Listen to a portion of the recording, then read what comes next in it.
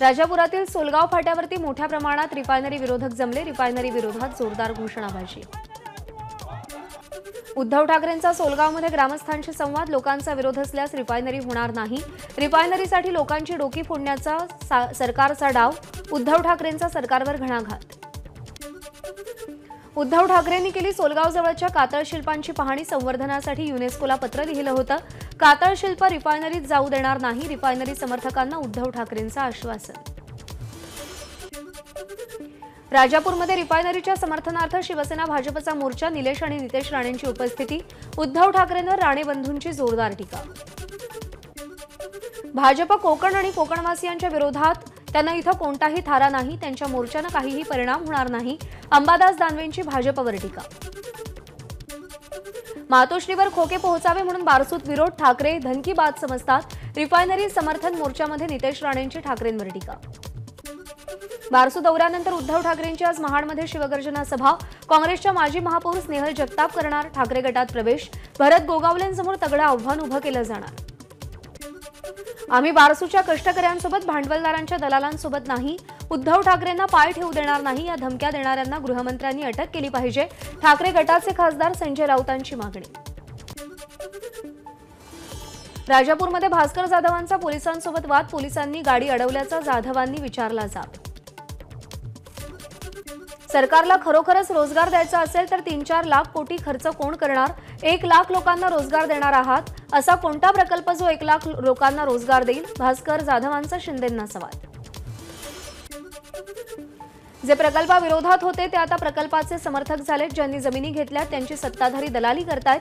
वैभव नाईक यांचा सरकारवर आरोप. उद्धव ठाकरेंच्या दौऱ्यावर दीपक केसरकरांची टीका उद्धव ठाकरे बारसूत विकासामध्ये अडथळा तयार करण्यासाठी जात आहेत आधी स्वतः प्रकल्पासाठी पत्र लिहून ते आता विरोध करतायत केसरकरांचा ठाकरेंवर निशाणा.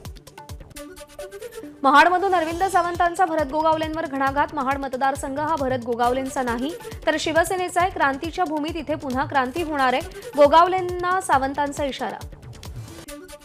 बेरोजगारीच्या मुद्द्यावरून मी प्रकल्पाच्या समर्थनात भूमिका घेतली होती. मात्र उद्धव ठाकरेंचा आदेश माझ्यासाठी सर्वोच्च. राजन साळवींची स्पष्टोक्ती. प्रकल्प उभारण्यापूर्वी स्थानिकांना आधी विश्वासात घेतलं पाहिजे. तिथला कायदा व सुव्यवस्था टिकवण्यासाठी प्रयत्न केले पाहिजेत. सचिन अहिर यांचा सरकारला सल्ला. बारसू रिफायनरीवरून वादंग. मुंबईतही बारसू रिफायनरी विरोधात कोकणवासियांकडून विविध रेल्वे स्थानकांवरती पोस्टरच्या माध्यमातून प्रकल्पाचा विरोध.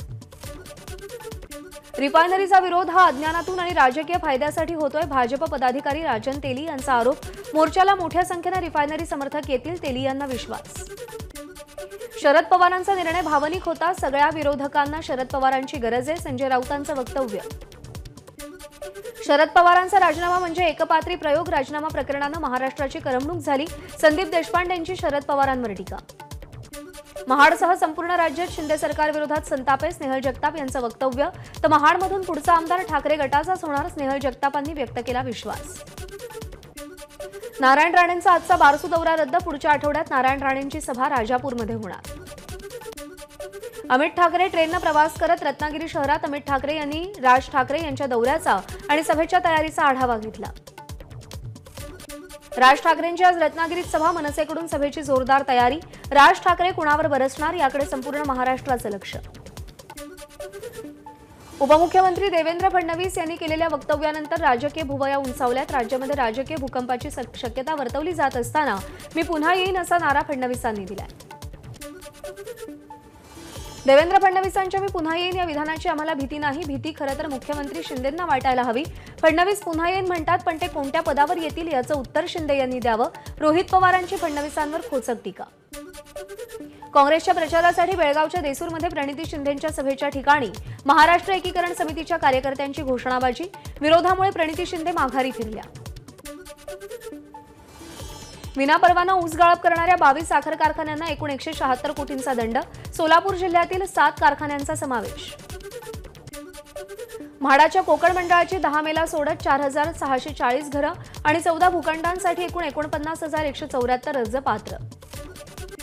मध्य रेल्वेकडून मुंबई पुणे आणि रत्नागिरी दरम्यान सोळा विशेष गाड्या चालवण्याची घोषणा सव्वीस मे पर्यंत या गाड्या धावणार. रविवारी ट्रान्स हार्बर मार्गावरती मेगाब्लॉक तर मध्य पश्चिम आणि हार्बर मार्गावरती कोणताही मेगाब्लॉक नसल्यानं प्रवाशांना दिलासा. राज्यातील शासकीय आणि निमशासकीय व शासन अनुदानित संस्थांमध्ये खुल्या गटातील महिला उमेदवारांना नॉन क्रिमिलेअर प्रमाणपत्राची अट रद्द राज्य मंत्रिमंडळाचा निर्णय. केंद्रीय राज्यमंत्री डॉक्टर भारती पवार यांनी केंद्रीय वाणिज्य मंत्री पियुष गोयल यांची भेट घेतली. नाफेडमार्फत उन्हाळी कांदा खरेदी सुरू करण्यात येणार असल्याची वाणिज्य मंत्र्यांनी ग्वाही दिली. समृद्धी महामार्गावरती वाहनांना थांबण्यास मनाई आहे मात्र अनधिकृत टपऱ्यांवरती वाहनं थांबत असल्यानं अपघातांचं प्रमाण वाढलं. याकडे एमएसआरडीसी आणि वाहतूक पोलिसांचं दुर्लक्ष. मुंबईतल्या भटक्या कुत्र्यांची जूनपासून होणार गणना मुंबईकरांना होणाऱ्या त्रासाची पालिकेकडून दखल. मुख्यमंत्री वैद्यकीय सहाय्यता कक्षानं गेल्या दहा महिन्यांमध्ये आठ हजार एकशे ब्याण्णव रुग्णांना एकूण साठ कोटी अठ्ठेचाळीस लाख रुपयांची मदत दिली. पिंपरीमध्ये नालेसफाईचं काम संथगतीनं सद्यस्थितीमध्ये केवळ तीस टक्के काम पूर्ण एकतीस मे पर्यंत काम पूर्ण करण्याचं आव्हान. सन मराठी वाहिनीतर्फे यावर्षीचा सांस्कृतिक कलादर्पण दोन हजार तेवीसचा सर्वोत्कृष्ट न्यूज चॅनलचा पुरस्कार. एबीपी माझाला एबीपी माझाच्या प्रतिनिधी लता शर्मा यांनी पुरस्कार स्वीकारला.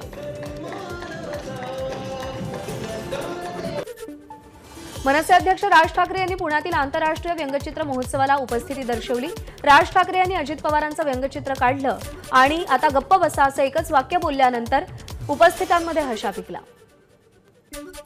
राजीनाम्याचा निर्णय मागे घेतल्याचं सांगितल्यानंतर शरद पवार पुण्यातल्या घरी. यावेळी शरद पवार यांचं जंगी स्वागत.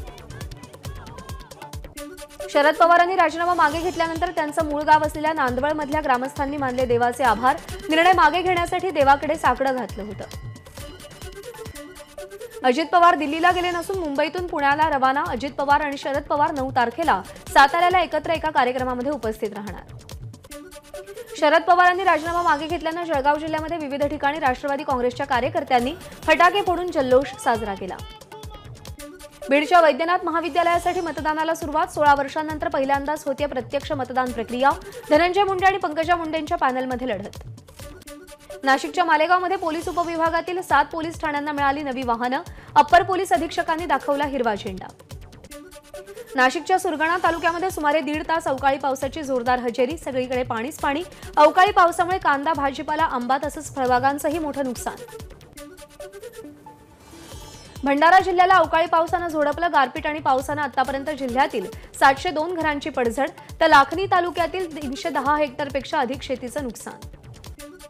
परभणीमध्ये पाईपलाईन फुटली लाखो लिटर पाण्याची नासाडी मुख्य रस्त्यांवरती साचलं पाणी. प्रशासनाचं मात्र दुर्लक्ष. बुलढाणा जिल्ह्यातील हजारो शेतकऱ्यांचा कांदा काढण्याआधीच खराब होत असल्यानं शेतकऱ्यांचं मोठं नुकसान. मात्र शेतकऱ्यांना अद्याप कोणतीही मदत न मिळाल्यानं शेतकऱ्यांमध्ये आक्रोश. गोंदिया जिल्ह्यामध्ये हत्तींच्या गळपाचा धुमाकूळ धान पिकासह कृषी साहित्याचं नुकसान. नुकसान पाहून शेतकऱ्याला अश्रू अनावर. वनविभागानं नुकसान भरपाई द्यावी शेतकऱ्यांची मागणी. बौद्ध पौर्णिमेनिमित्त ताडोबामध्ये मचाण सेन्सस म्हणजेच निसर्गानुभवाचा उपक्रम. यासाठी राज्यासह देशभरातून हौशी पर्यटक ताडोबात दाखल. मुंबईमध्ये अंधेरी पश्चिमेत वर्सोवा भागात इमारतीचा स्लॅब कोसळला. या घटनेमध्ये पाच जण जखमी झाले असून त्यांना उपचारासाठी रुग्णालयात दाखल करण्यात आले परभणीच्या रामेटाकळीजवळ ट्रॅव्हल्स ट्रकचा भीषण अपघात. अपघातामध्ये चार जण गंभीर जखमी. सांगलीतल्या जतमध्ये कार डंपरचा भीषण अपघात. अपघातामध्ये एकाच कुटुंबातल्या पाच जणांचा मृत्यू. विजापूर गुहागर मार्गावरच्या अमृतवाडी फाट्याजवळ अपघात. कारनं समोरून येणाऱ्या ट्रकला चुकवण्यासाठी उभ्या असलेल्या डंपरला धडक दिल्यानं हा अपघात झालाय. पुण्यातील वाघोली उबाळेनगर इथं मंडप साहित्याच्या गोडाऊनला भीषण आग. आग लागल्यानं गोडाऊनमधील चार सिलेंडर फुटले. तीन कामगारांचा होरपळून मृत्यू. शिर्डीमध्ये हाय प्रोफाईल सेक्स रॅकेटचा पर्दाफाश वेस्टच्या व्यवसाय सुरू असलेल्या सहा हॉटेल्सवर एकाच वेळी पोलिसांचे छापे पंधरा पीडित मुलींची सुटका अकरा आरोपींना घेतलं ताब्यात. विरारमध्ये अठरा वर्षीय तरुणाचा स्विमिंग पूलमध्ये बुडून मृत्यू रिसॉर्टमधील सीसीटीव्हीत घटना कैद. महाराष्ट्र कर्नाटक सीमेवरती अठ्ठ्याऐंशी लाखांची रोकड जप्त कर्नाटक विधानसभा निवडणुकीच्या तोंडावर पोलिसांची कारवाई. हिंगोलीच्या बासंबामध्ये गांजाच्या शेतीवर पोलिसांची कारवाई दोन लाखांचा गांजा पोलिसांकडून जप्त तर दोन आरोपींविरोधात बासंबा पोलीस ठाण्यात गुन्हा दाखल. कल्याणजवळच्या मलंगगड नदीपात्रामध्ये मृत माशांचा खच प्रदूषण नियंत्रण महामंडळाने पाण्याचे नमुने तपासणीसाठी ताब्यात घेतले. सचिन तेंडुलकरनं चंद्रपूरच्या अलीझंजा गावातील जिल्हा परिषद शाळेतल्या विद्यार्थ्यांना स्कूल बॅग्स भेट दिल्या. सचिननं विद्यार्थ्यांना दिलेलं आश्वासन पूर्ण केलं.